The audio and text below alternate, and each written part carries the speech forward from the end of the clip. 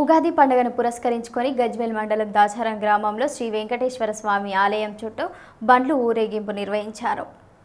ట్రాక్టర్లు ఆటోలు మొదలైనవి గుడి చుట్టూ తిరుగుతాయి. ప్రతి సంవత్సరం వైభవంగా జరిగే శ్రీ వెంకటేశ్వర స్వామి ఉత్సవాలలో భక్తులు పెద్ద ఎత్తున పాల్గొన్నారు.